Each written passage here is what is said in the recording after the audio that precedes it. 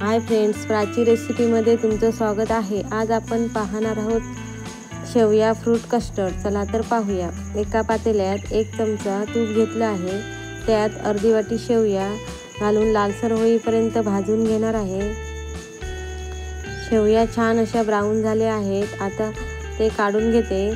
त्यानंतर त्याच पातेल्यात दोन वाटी दूध घालून घेणार आहे.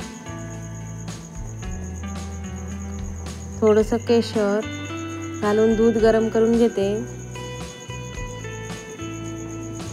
त्यात शेवया घालून पाच ते सात मिनटं शिजवून घेणार आहे.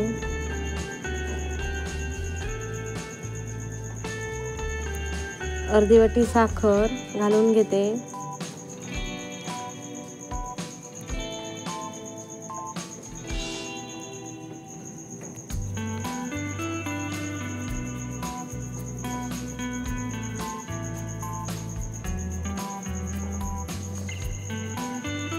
एक चमचा कंडेन्स मिल्क घालून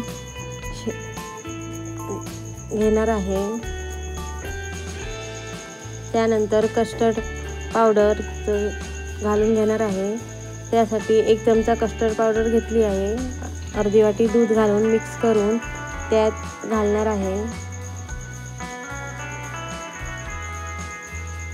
दहा मिनटं शेवयात थंड करत ठेवणार.